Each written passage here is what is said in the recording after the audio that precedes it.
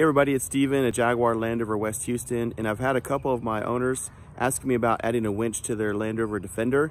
And um, I asked in one of the forums if anybody had seen a winch or knows how it works, and somebody sent me this link to this video. So check it out, I'm gonna link it right here.